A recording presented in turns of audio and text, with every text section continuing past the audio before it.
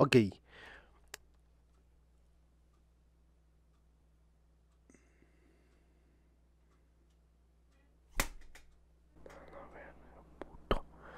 Ok.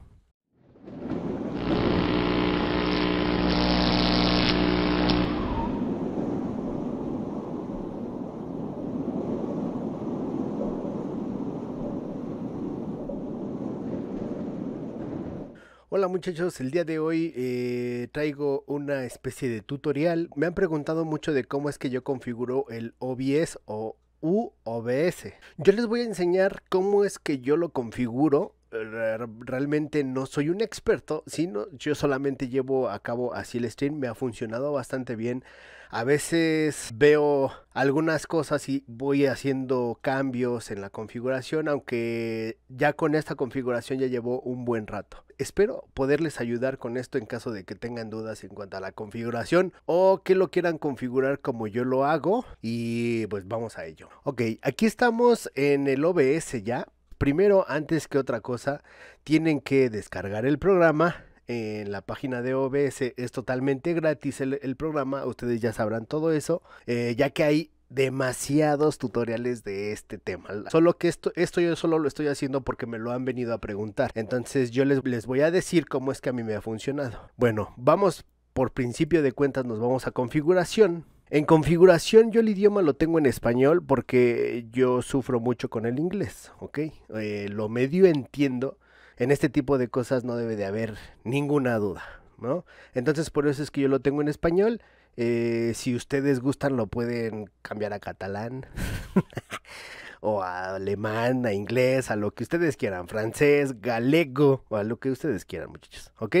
Bueno, yo lo tengo en español y aquí lo tengo, el, de, el default creo que es blanquito, yo lo tengo en oscuro porque se ve más bonito. Ok, en esta de general solo tengo comprobar actualizaciones automáticamente al inicio, que es decir, cada que abres tú el, el programa, si hay alguna actualización, automáticamente se va a actualizar, ¿no? Y no tengo que estar comprobando actualizaciones, ya con eso solito lo hace.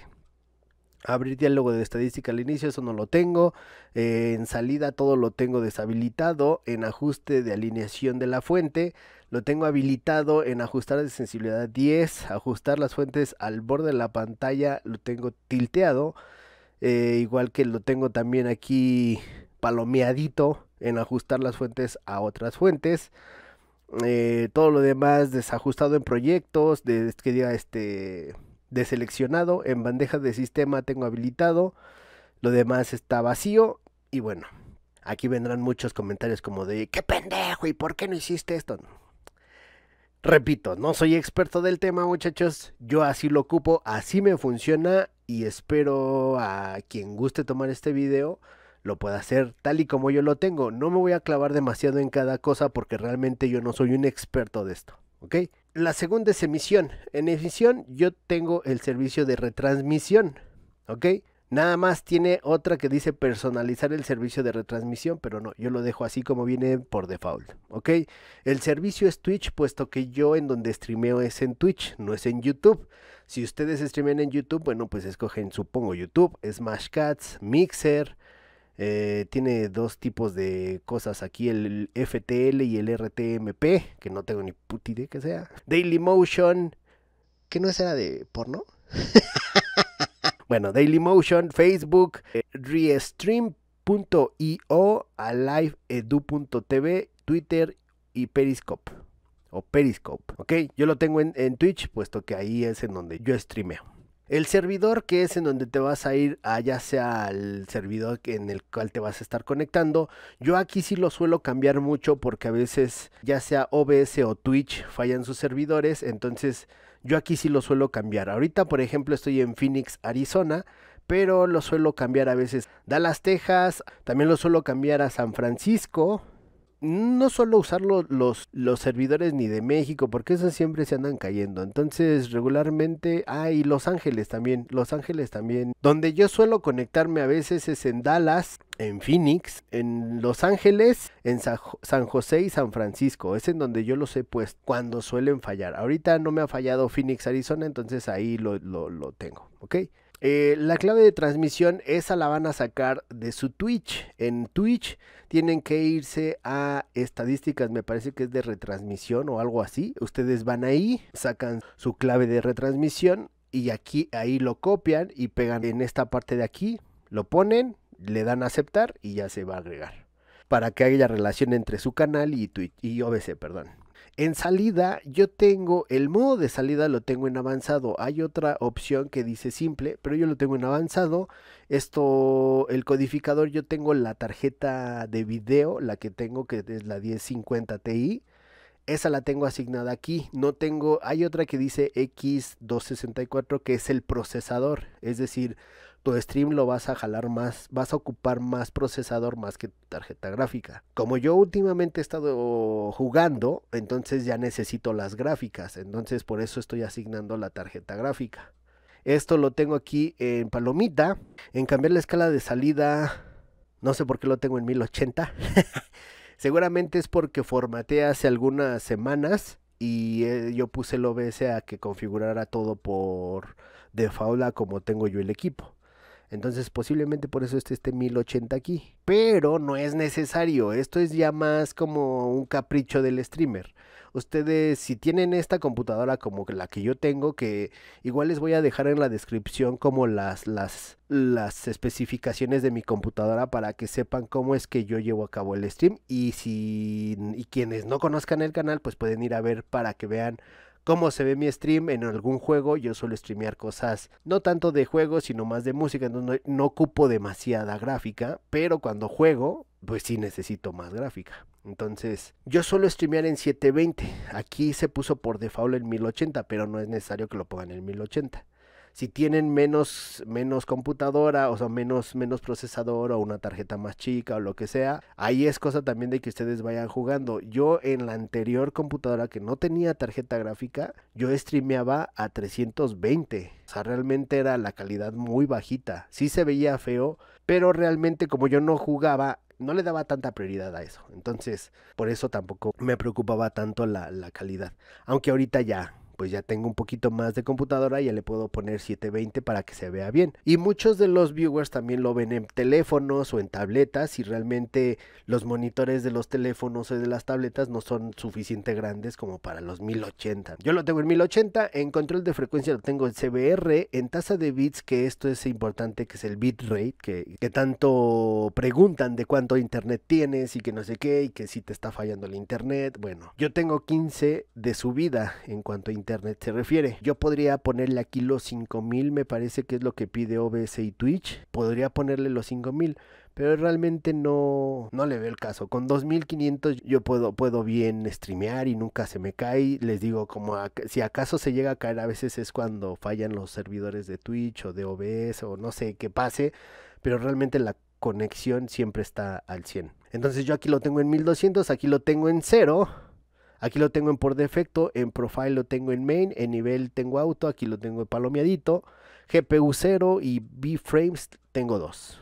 En audio, realmente en audio no tengo casi nada movido más que aquí en dispositivo de audio de escritorio y en dispositivo de audio micrófono auxiliar. Tengo asignado en dispositivo de escritorio los altavoces de la computadora. Ustedes pueden aquí eh, deshabilitarlos que posiblemente no, los no van a escuchar nada.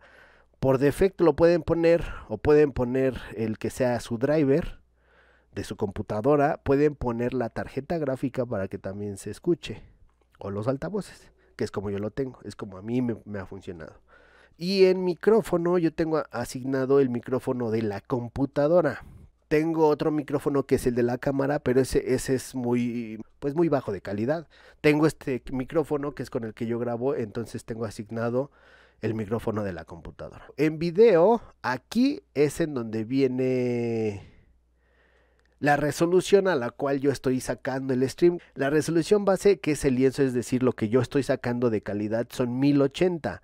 En la resolución de salida es a lo que ustedes lo van a ver. Y eso va a ser aquí el, OBS escala la calidad la va, a bajar para que en el stream se vea bien. y aquí es en donde sale a 720. Eh, entonces sí estoy bien.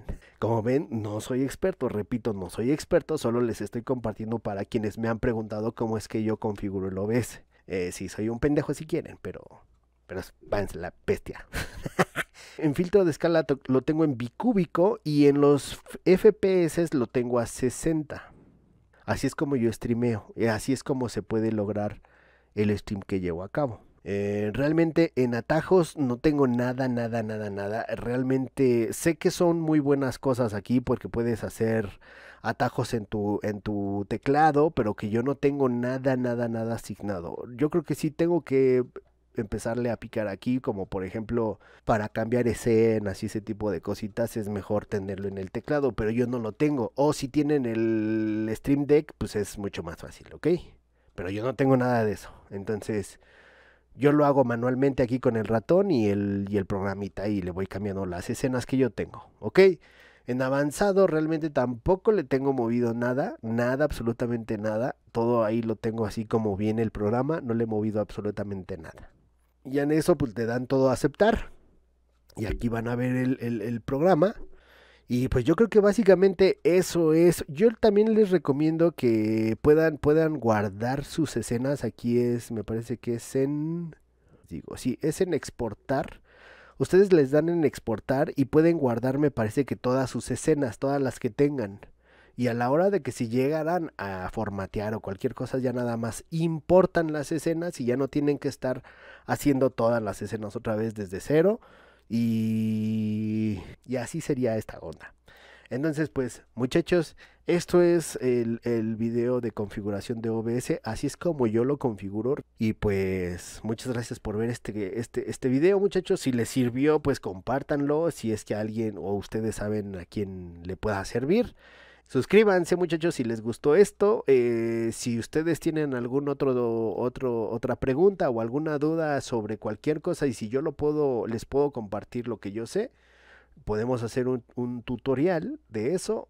Muchas gracias muchachos. Denle like, compartan, suscríbanse y síganme en las redes y todo eso muchachos. Muchas gracias y bye bye.